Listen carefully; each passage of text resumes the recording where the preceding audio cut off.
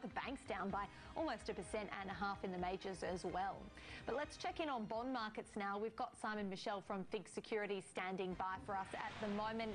And uh, Simon, we're continuing to await that decision from the US Fed to increase Fed funds later on in the week. Where to next, do you think? Yeah, look, it's interesting, Kate, and uh, obviously I think most of the market now very much of the view that we'll get that uh, tightening by the Fed in the US, increasing rates likely by 0.25 of a percent uh, off of virtual zero, and that'll give the uh, Fed a chance to reset their messaging around where interest rates are likely to go through 2016. Uh, looking at the yield curve, uh, certainly doesn't suggest we're likely to see a flurry of further interest rate increases. it could be very much that we see the Fed uh, position markets for very steady rates through 2016. I certainly don't think this move uh, that we expect this week is likely to lead to any uh, a succession of further increases throughout next year. Let's talk a, a, bit about the strong demand for US Treasuries at the moment because that's been pushing yields lower ahead of the move, hasn't it? It has, and we've actually seen that flow through into our market this morning as well, and we've seen now yields off across the five and the ten year down about five basis points. So moving in the opposite direction as you would expect, uh, given that we are likely to see the Fed move uh, on Wednesday their time, uh, and it really reflects a bit of repositioning um, prior to that announcement, and also uh, that uh, weakness we're seeing in uh, commodities as well flowing over into people seeking a bit of a safe haven.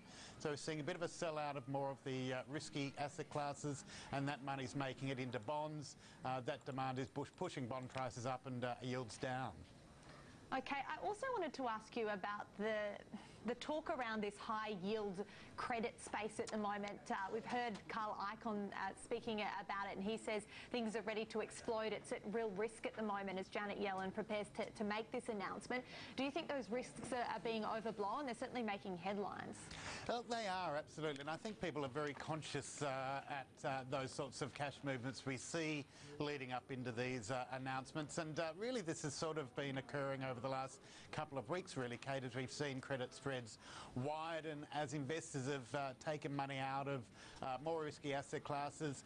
Um, I think it's also been driven, as I mentioned before, a little bit by this, uh, you know, lower commodities as well, causing concern around some of the emerging uh, uh, markets as well, some of the developing nations and their ability to meet um, debt requirements as as they fall due. and so we're seeing a bit of consolidation happening, and you know, we're likely to see a little bit of a, an unwind post this announcement once that uncertainty is removed from the market. Uh, but I think, uh, you know, at the end of the day, it does reflect a bit of a view that things are getting a little bit more volatile in some of those uh, areas of the global economy, and people are just uh, repositioning out, seeking the safety and comfort of bonds, uh, and waiting to see how this uh, Fed announcement plays out this week. Yeah, fair enough. And investors increasingly moving out of these uh, risk assets, even equities. And I guess that means we, we might see continued volatility over the next couple of months. Look, I think so, absolutely. You know, um, these significant uh, changes in uh, uh, rates, and uh, you know, let's uh, let's put it bluntly, the US has not uh, moved these rates up for almost a decade now.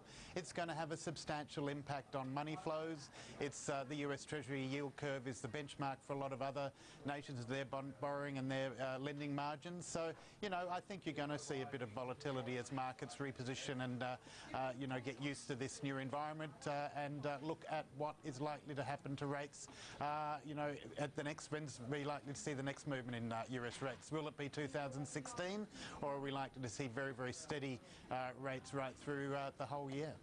And what about uh, rates here at home? Of course, the employment data we've seen out lately just continues to, to back the case that the RBA is either going to, to, keep rates on hold for some time to come or potentially the next move we see may be a hike. What do you think?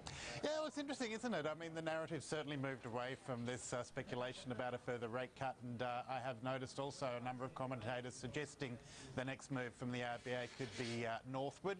I think certainly the Fed move, if we get that uh, this week, and obviously the uh, uh, better, stronger employment trend, as you mentioned, and also the uh, stronger uh, third quarter or September quarter uh, growth figures we had, certainly take a bit of pressure off the RBA for lower rates. I cer certainly think they uh, flow into the narrative we've had from the RBA that you know they're pretty comfortable where rates are. they certainly don't see the need to make any adjustment in rates at the moment.